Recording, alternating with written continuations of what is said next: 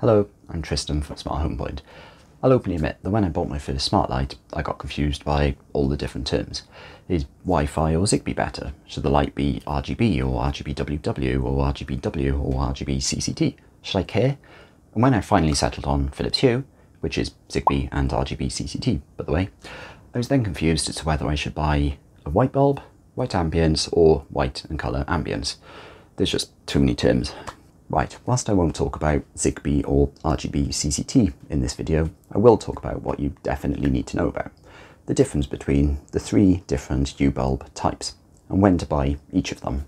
So here I have the three types. Hue White, Hue White and Ambience, and make sure I don't drop them, and Hue Colour, although its official name is Hue White and Colour Ambience. Now, before I talk about the differences, it's worth quickly pointing out that my white ambience bulb is a small candle bulb, whereas my other two are standard ceiling bulbs. But the, the three hue bulb types, white, white ambience and colour, exist in many different bulb formats. Be gentle. Right. Okay, so let's take the easiest case. Hue white. This smart bulb can be turned on and off and also dimmed. That's it. You can't change its colour, it just pumps out what's known as warm white. This is the sort of colour that you get in the evenings, during sunset, for example.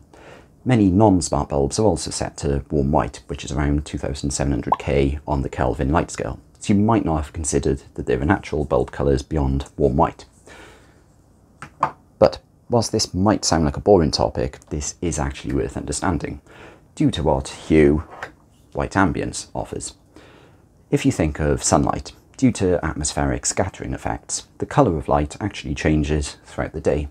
During sunrise and sunset, for example, the light is fairly yellow or even sometimes red.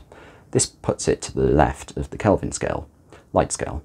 But as the day goes on, sunlight becomes more blue, also known as cool white. This puts it to the right of the Kelvin light scale. What this means in practice is that during the middle of the day, having loads of light stuck at warm white, such as this, can start to feel a bit odd, as though it's evening time in essence. Therefore, Philips Hue have brought out a white ambience offering, which allows you to change between warm white and cool white. In other words, to change between the main parts of the Kelvin light scale.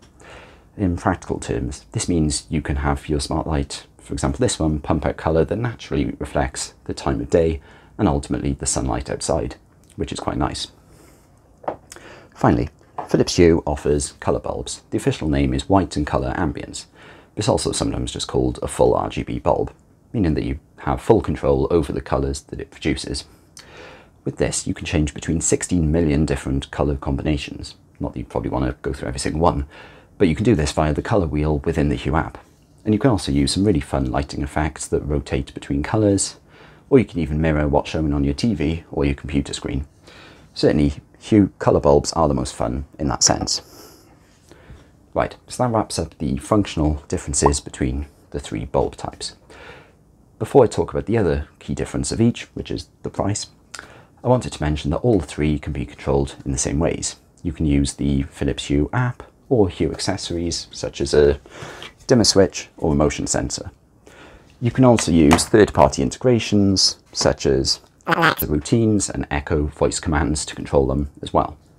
So the main difference of the, these three bulbs is the colour they produce and whether you have control over that colour or not. The other key difference, of course, is price.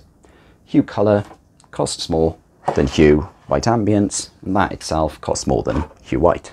But to be more precise, this Hue white typically costs around $15, whereas Hue white ambience is around $22.50 each, whereas Hue colour is around $45 each. Although this varies, of course, depending on how many you buy, whether there's offers on, whether you buy them as part of a starter kit or anything else.